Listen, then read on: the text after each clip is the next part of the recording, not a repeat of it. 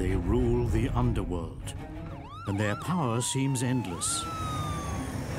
Gang bosses. In Colombia, Pablo Escobar. His illegal drug dealings terrorize an entire country. I'm sure that he believed that he was somehow semi-divine. In Canada, Maurice Boucher, the boss of the Hells Angels, wages a brutal gang war. Car bombs, jail fights, a drug trade worth millions. They're all part of a vicious war. And in Italy, Salvatore Riina, the head of Cosa Nostra, kills everyone who gets in his way. Riina makes the Mafia a terrorist organization. How do investigators get them behind bars? The most powerful gang bosses of all time.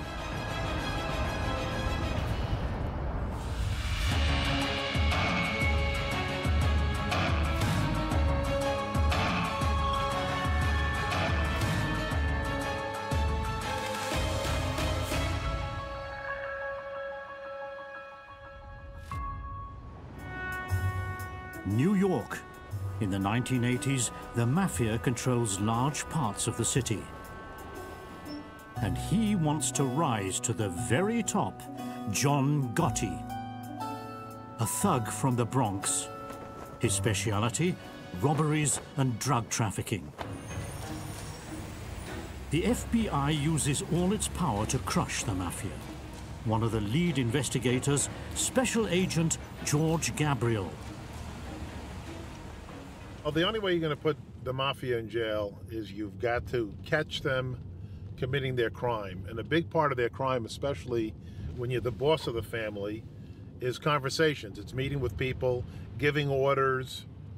Um, and in order to do that, you either have to get their conversations or you have to put them together. And the meetings are very important to cover.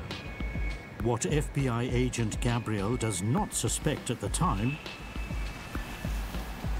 in December 1985, an assassination will upset the balance of power in the New York underworld. The victim? Paul Castellano, head of the Gambino family and mafia boss number one, shot on the street in plain sight. The way he was killed, there was no doubt in anyone's mind who did it. We knew John Gotti was responsible. We also knew that was a big challenge how we were going to be able to prove that those guys did it. So it's frustrating when you know who did it and you can't prove that they did it. Witness testimony provides only vague information about 11 alleged culprits wearing Russian hats. Otherwise, nothing. Why did Gotti kill his own boss? His own boss had become uh, distant uh, from the family, had become uh, um, greedy, and so was asking for a lot of money uh, from the members of the family and wasn't sharing as much and um, and so there was a lot of uneasiness. Castellano's mistake was that he didn't understand the extent of Gotti's ambition.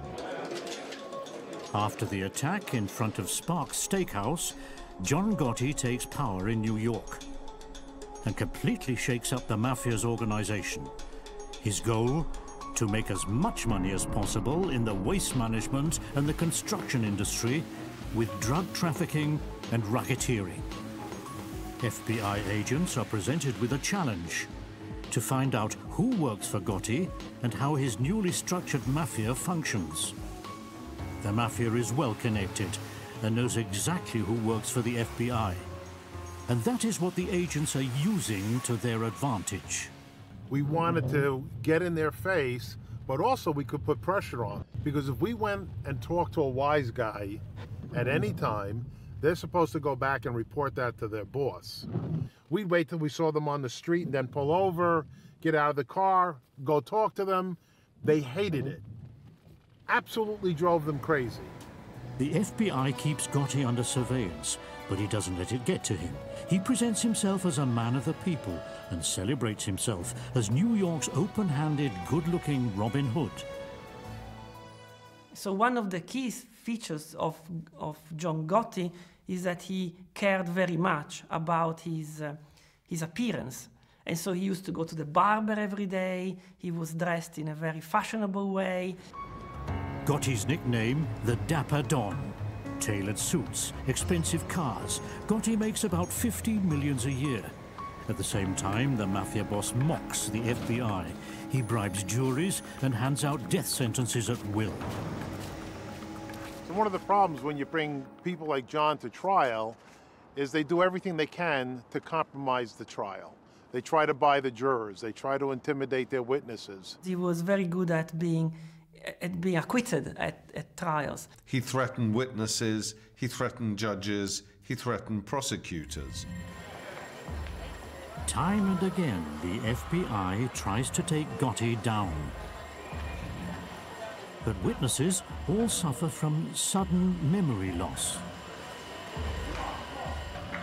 He thought he was untouchable, and so he continued to commit uh, serious crimes, thinking he would never be arrested.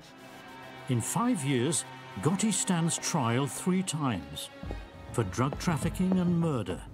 Each time he goes free. Then the presumed big chance. The state of New York itself indicts the gang boss for murdering a union official. But once again, the evidence is spotty. When John got acquitted on that case, when the jury came back not guilty, the pressure really mounted because now John went from the Dapper Don to the Teflon Don. John Gotti gets overconfident. His new mafia headquarters in the middle of downtown New York City in plain sight of the FBI.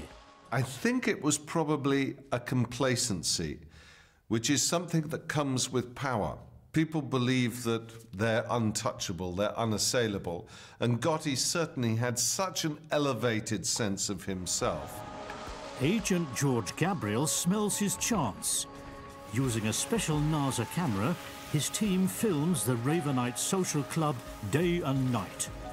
It's a popular venue for mafiosi, and in the first floor, Gotti's headquarters. For all underworld bosses have to visit the Mafia Don once a week. When we first started surveilling this club, we didn't know who almost half the people were because we'd never seen them before. He brought them right into view so we could take beautiful pictures of them, beautiful video of them, identifying. But what, so what he did was he identified who and what the Gambino family was. And that's something that could take years to do. He did it for us in months. A great boon for investigators. But knowing who works for Gotti is not enough. They have to know what happens behind closed doors at number 247. They use highly sensible directional microphones hidden in the bumper and wheel cases of a car. What the FBI need is proof that he is associated with criminal conspiracies that are carrying out crimes that they have been able to identify. After three months, the breakthrough. The FBI manages to get into the club unnoticed and uses its chance. From now on, they won't miss a single word. Because we knew this is where John was conducting his more serious business, we put a bug in the club, which was on the first floor. Then we found out he was using the hallway. So that back door, down that hallway, he'd come out from behind the club. We put a bug there. We were getting good conversations, but then we found out the secret hiding spot was in one of the apartments two stories up. So we put a bug there. The FBI gathers crucial evidence from the bugs about drug deals, blackmailings, and contract killings. They arrest Gotti. And that was the basis of the trial, and that was uh, how the main evidence was collected over several months of, of the um, uh, orders he was giving to the, to the crew. Fourteen months later, the trial begins. And investigators now have yet another ace up their sleeve. People decided to go to the police and squeal on him. And in Gotti's case, this is very famous because it's a man named Sammy the Bull Gravano. At that point, Sammy the Bull decided to become a, a whistleblower, a witness for the prosecution, and was the key witness that, that confirmed what the police had overheard in his club, and that led to his downfall and his uh, conviction for life. Johnny Gravano, long Gotti's closest ally. Now he is a crucial principal witness. When you walk into a courtroom, it's 50 50. Uh, it's like theater. Both sides put on their little movie, and it's kind of a scary feeling that you still have to recognize, as good as it is, you could still lose.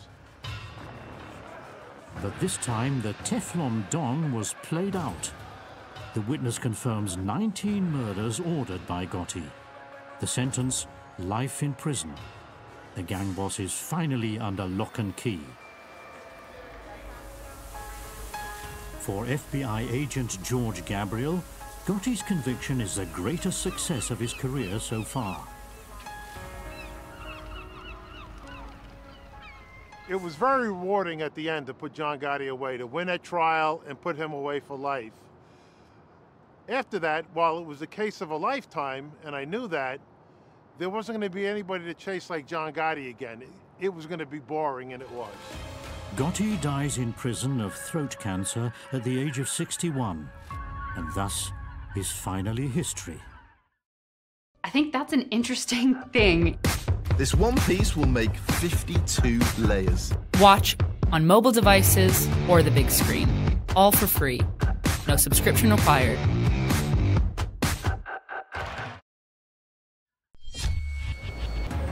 But there are more of these gang bosses. He and his group massacred over a thousand people in the space of two or three years. Drugs, blackmail, murder. Gang bosses are addicted to power. Their deeds are among the worst crimes of all time.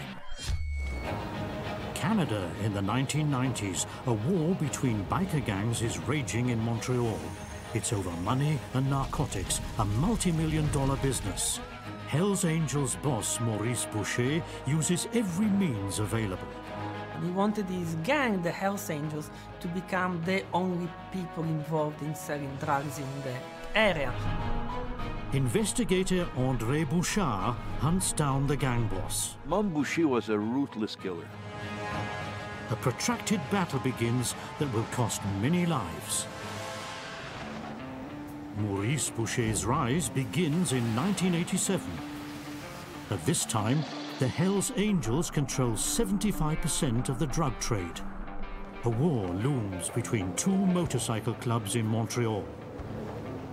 Car bombs, jail fights, a drug trade worth millions. They're all part of a vicious war being fought in and around Montreal between biker gangs. A war over dominance in the cocaine and heroin business.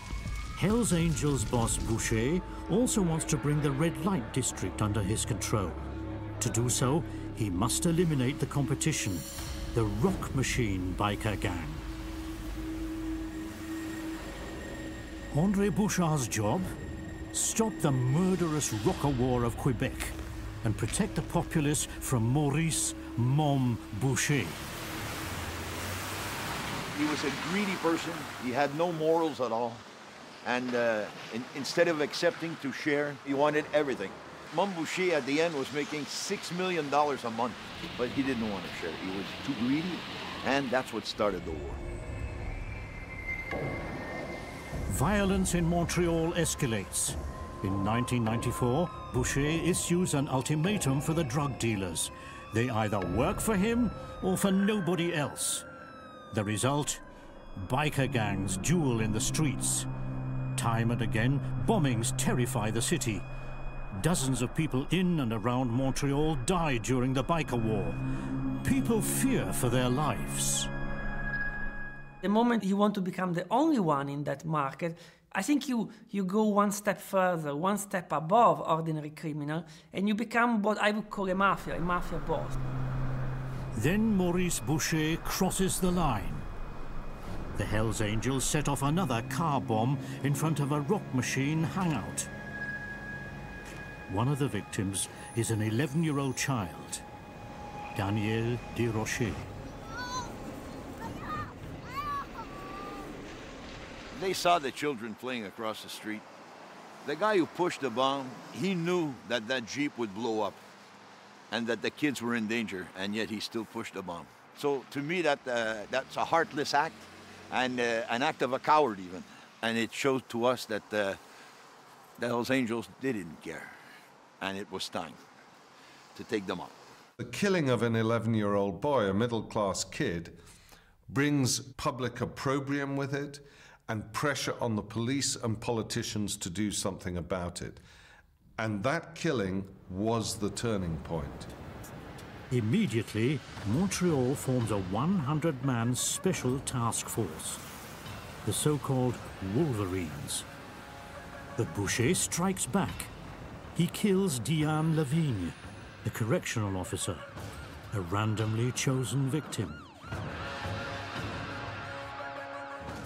They are not psychopaths, at least in my opinion. They are certainly not sensitive to the damage they, they inflict on the people, but what they do is part of their strategy to pursue their empire building.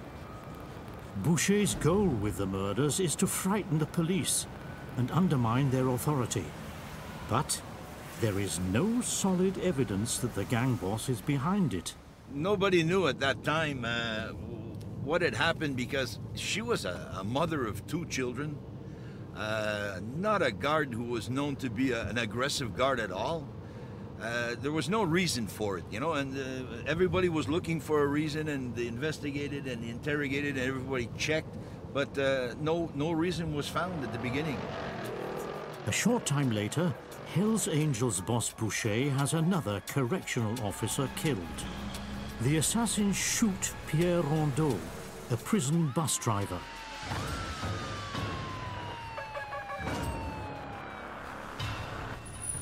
Meanwhile, investigators are certain the boss of the Hells Angels is behind everything.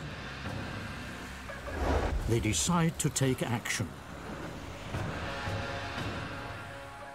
Now it was a confirmation. Now they came at us. Now it was sure that they were trying to get the system, the justice system, they were trying to uh, frighten them. We were 100% sure it was the Hells Angels.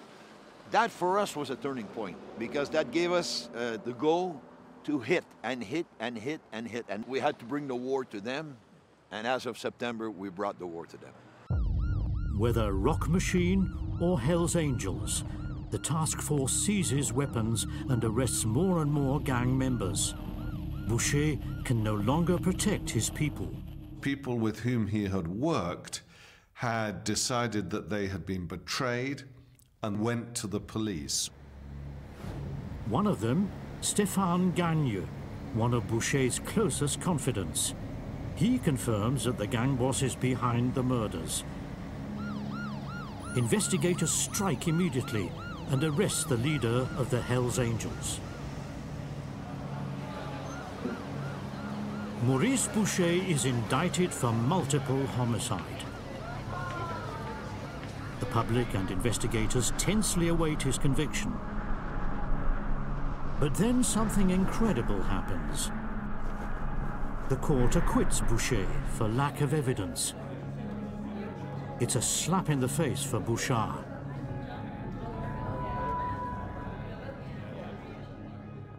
To see him walk out, uh, you, you, can't understand how you feel inside. You know, you feel empty. Uh, one of the the worst days of our life uh, because all the work that we put in, uh, hundreds and thousands of hours of work to get him, we had him, poof, and it was gone. The acquittal is an unparalleled defeat for police. Boucher, the boss of the Hells Angels, is in fact released. It's never, no one's really understood why he was let off in that original trial. It could be that he was intimidating witnesses or intimidating the jury, one doesn't know. But investigators and the prosecutor appeal the case. And this time, the court appears to be neither biased nor bribed. Boucher is guilty. The sentence, life in prison. My police officer was at the scene uh, when he arrested him, said to Mom, look outside. It's the last time you're going to see the sun. Boucher, a man who makes millions a year with blackmail and drugs behind bars. The biker war is over, leaving behind an estimated death toll of over 160. Mom Boucher was a ruthless killer. He killed children, he killed a woman, he preyed on the most vulnerable people here in Montreal. He is presently in jail. I think he'll stay in jail. I think he'll die in jail. And that's what he deserves. Boucher is still in a high security prison. The fate of this once mighty Hells Angels boss seems forever sealed. Although rumor has it up to this day that Boucher and his former gang members are still right in control. Gang bosses. They commit terror attacks and kill the innocent. Bribery, drugs, contract killings. Their greed knows no limits. He believed that he was somehow semi-divine.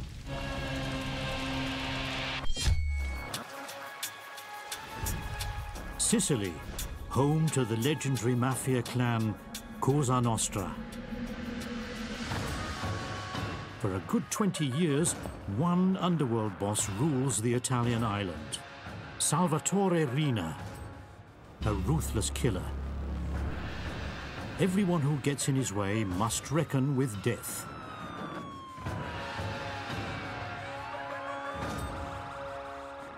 He and his group massacred over a thousand people in the space of two or three years.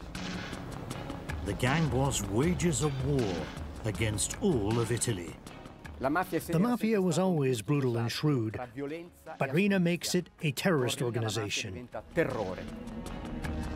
How can investigators stop the brutal mafioso? Palermo, Sicily's capital.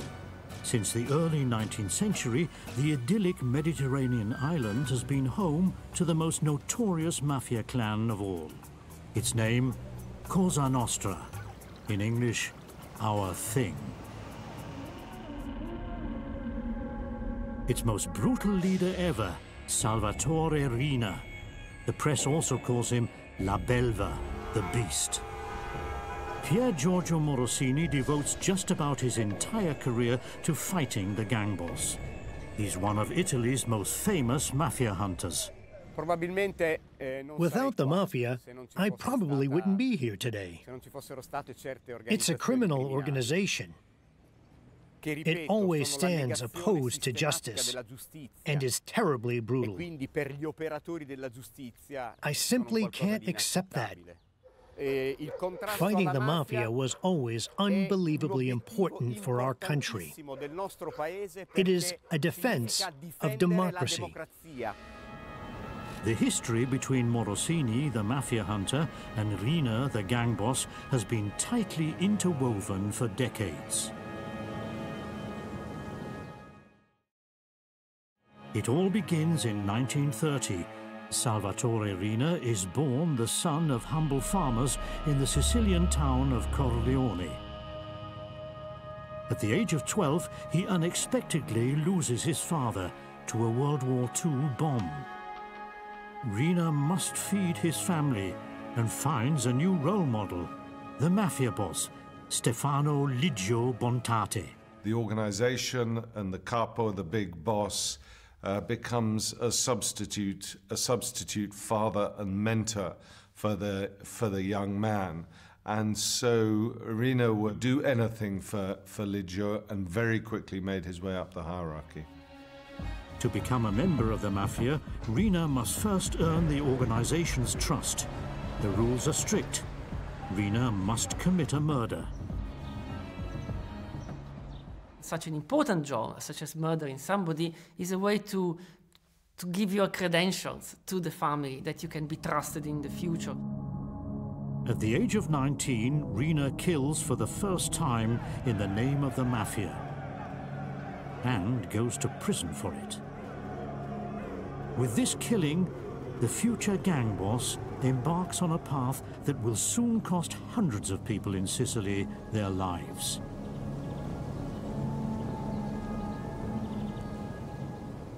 Certainly going to prison is seen as part of the part of the game.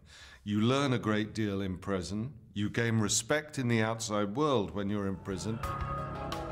Riina is released after seven years and continues killing for the mafia.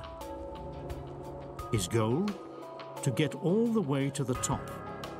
In Sicily's capital, Palermo, he kills about 50 people who are standing in the way of Cosa Nostra and of his own rise to power. Riina pursues a bloody power struggle and comes to the attention of investigators for the first time. Riina came at them unexpectedly because the authorities were actually not policing Sicily. But at first, everyone thinks the gang boss is Small Fry. That changes in December of 69. Riina gathers allies and storms the house of a rival mafia boss. A war between the clans ensues.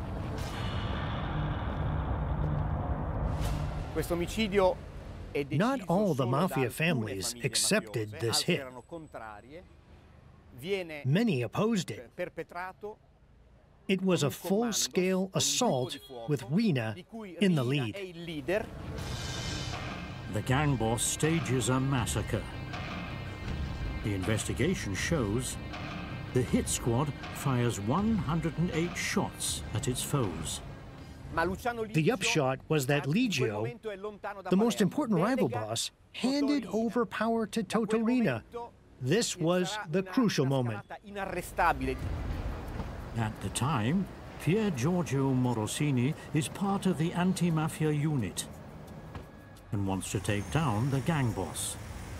But Riina infiltrates the police, bribes investigators, and expands his extortion and drug business. The Sicilian Mafia is a federation of crime families. He wanted to become the boss of all of them. That was his goal, ultimately. For nearly 20 years, Riina wages a war against other mafia clans and the Italian state. At first, Morosini's hands are tied. He doesn't know who we can trust and who we can't. And not even one photograph of Riina exists. No one knows who he is. A nightmare for investigators.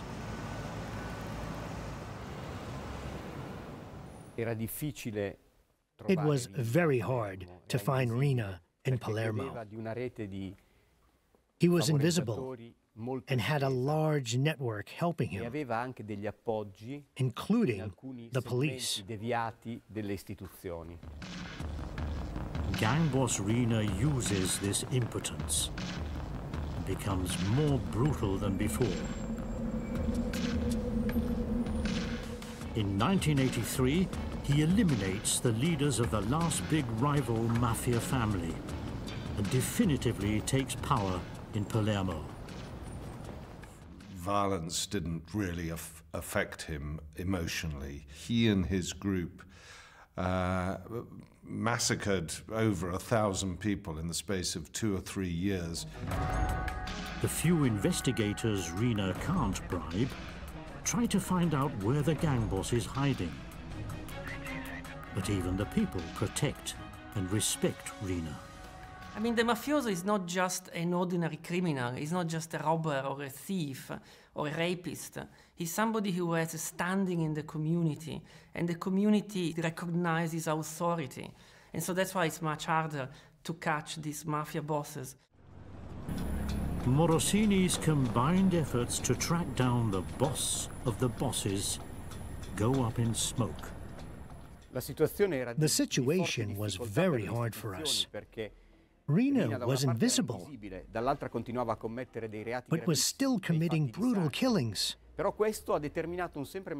Achieving our goal required a lot of patience.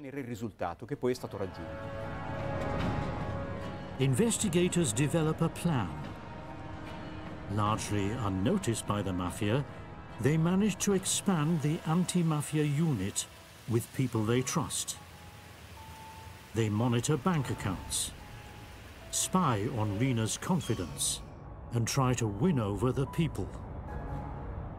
It has taken a long time for the police to be trusted so that people could inform on, on mafia bosses.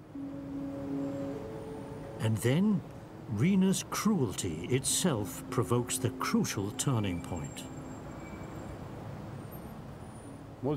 For years, we fought the mafia. We remained very patient, surveilled all Riina's contacts, all the people in his circle. And the biggest contribution came from the mafiosi themselves, when the mafia bosses working for Riina decided to talk to us. After 10 years of extremely brutal violence, even the mafiosi themselves fear the boss of the bosses and spill the beans. Their offer? Mild prison sentences in return for information. The result is the so-called maxi trials. Imagine if you have 500 uh, defendants, imagine each of them has got a, a team of lawyers. Imagine how many thousands of people have to be accommodated.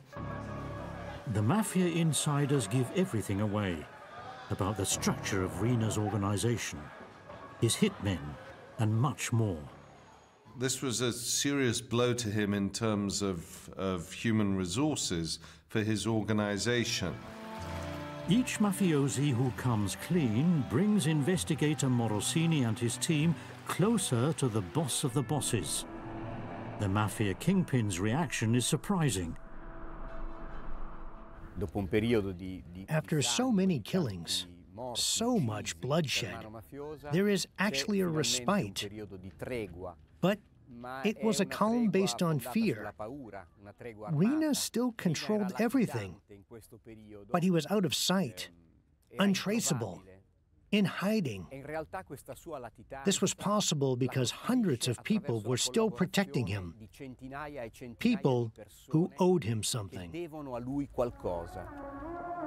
Riina secretly plans his revenge. A brutal assassination follows. The gang boss sets off a car bomb. Its goal, to kill Paolo Borsellino, high-ranking judge and sworn enemy of the mafia. Borsellino and five others die.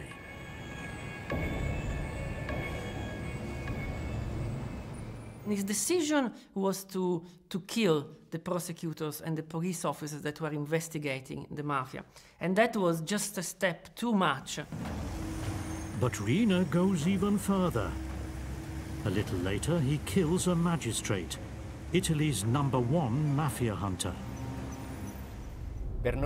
For Italians, the Capaci massacre is like the murder of the Kennedy brothers.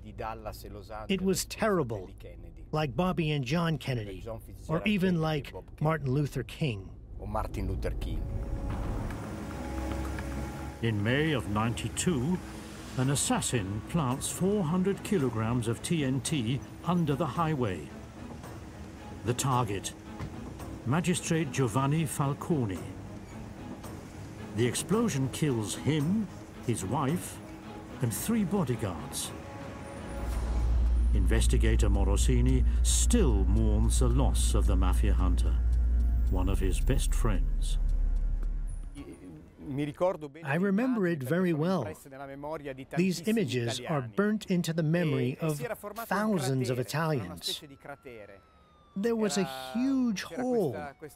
The earth opened up. It was dramatic. The whole highway destroyed. It looked like pictures after a bombing. The assassination rocks all of Italy.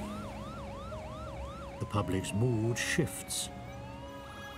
They fear the terrorism gripping their home. No one forgives Riina for the murder of Falcone and his wife.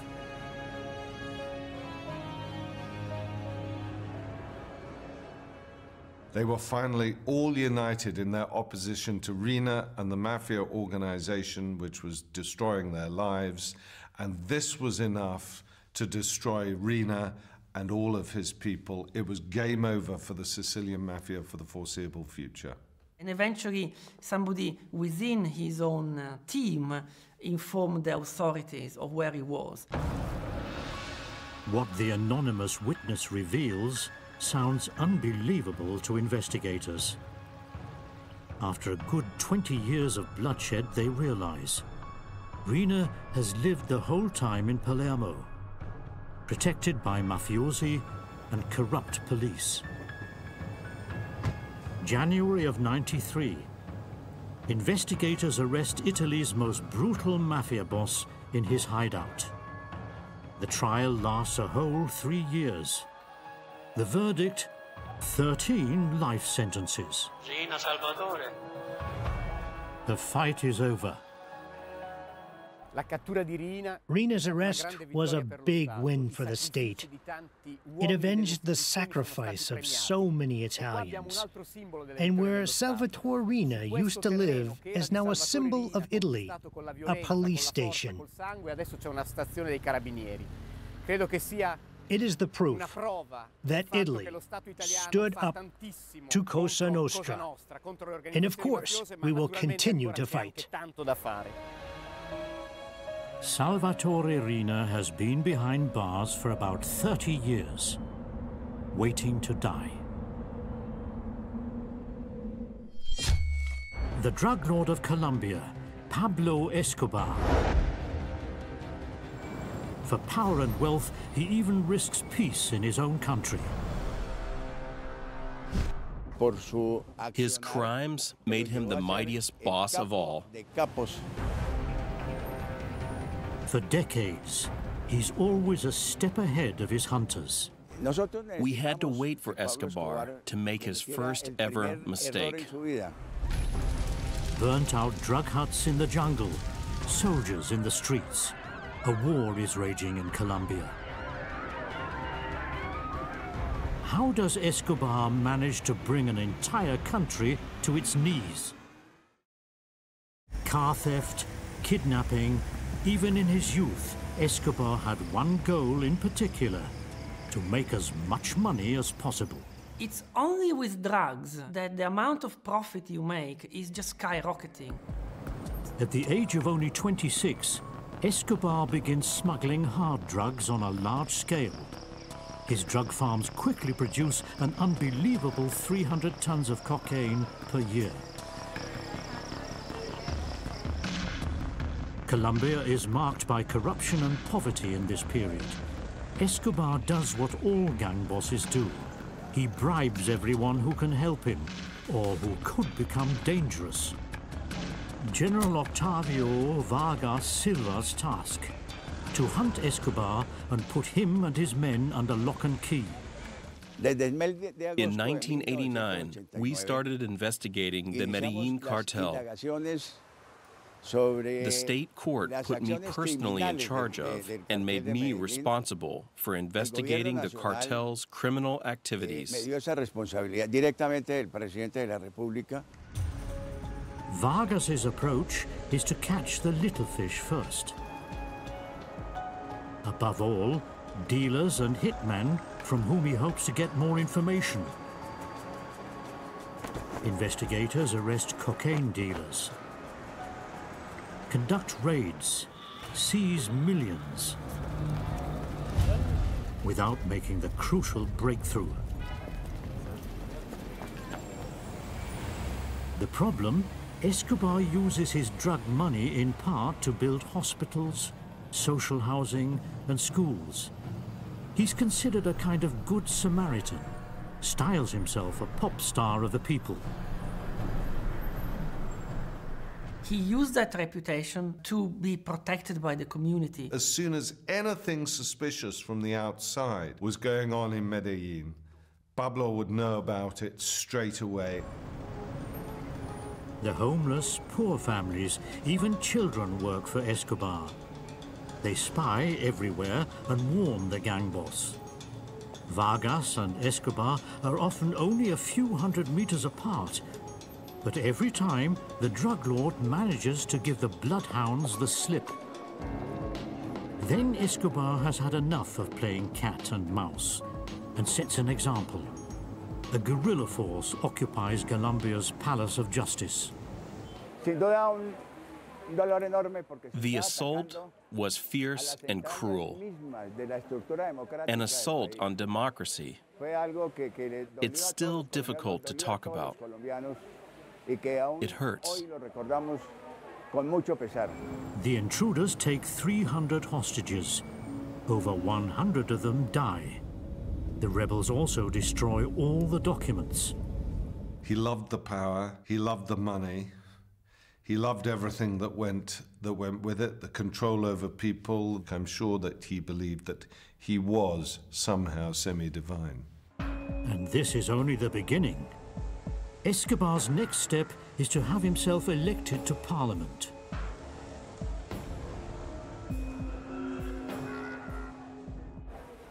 Escobar's motive for going into politics was primarily immunity, and thus to remain unpunished for his crimes. Vargas does not cease his investigations. With the support of Colombia's justice minister, he manages to destroy numerous drug labs.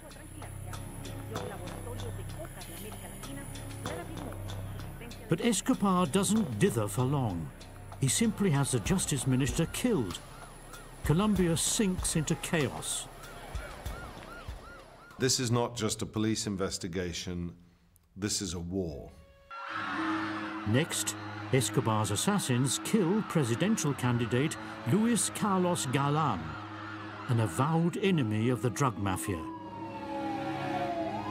The government responds by setting a bounty, 2 million US dollars for Escobar's capture and investigators change their tactics.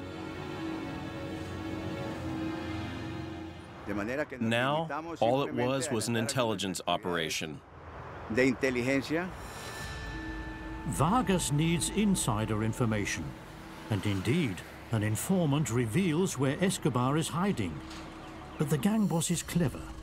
There are also numerous children in the house. The police can't risk their death. Mission aborted.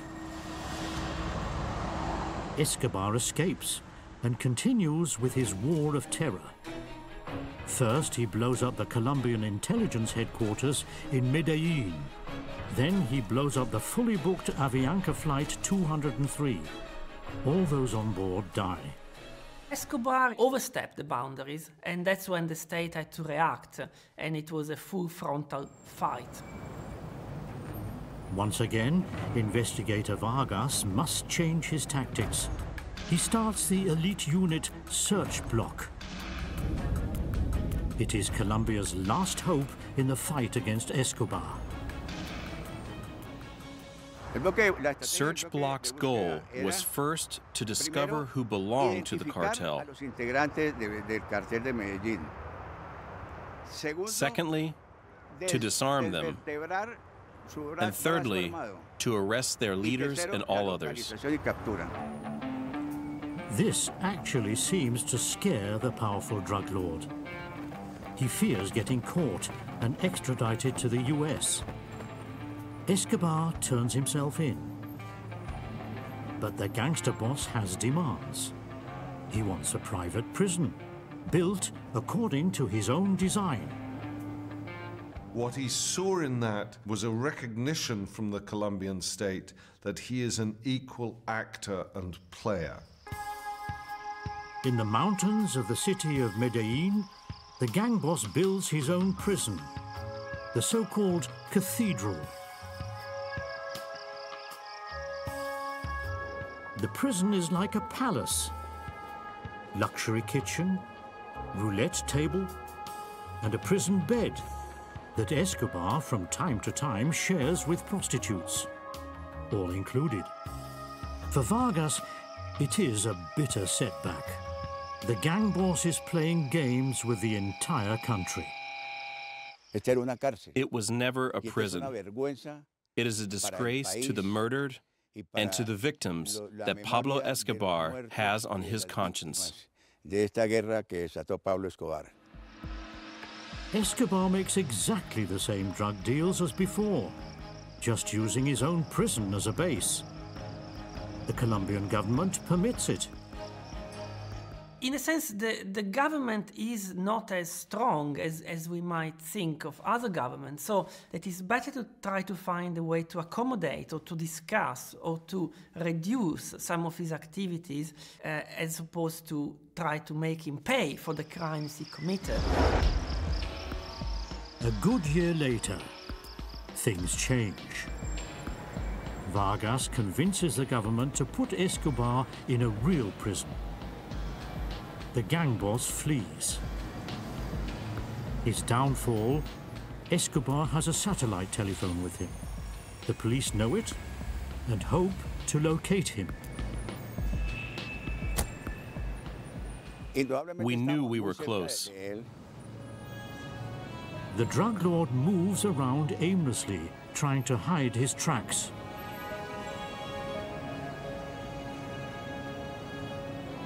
But the noose around Escobar's neck continues to tighten. We had to wait for Escobar to make his first ever mistake. And then it happens. Escobar uses the telephone repeatedly. He calls his family again and again. He wants to know if his wife and children are okay. Investigators locate the signal and find the house where the drug lord is hiding. Pablo Escobar was here. The special unit storms the house. A wild firefight breaks out. Escobar tries to escape from the roof.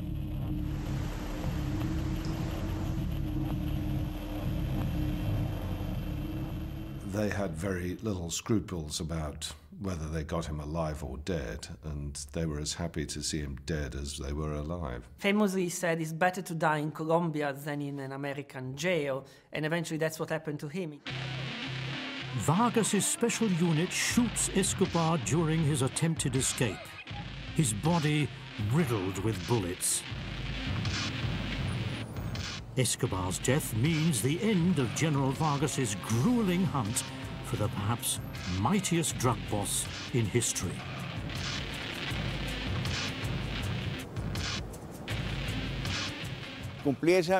It was all finally over on December 2nd, 1993. Investigators and all of Colombia can finally breathe a sigh of relief the long-lasting drug war that the gang boss waged against his own country is over.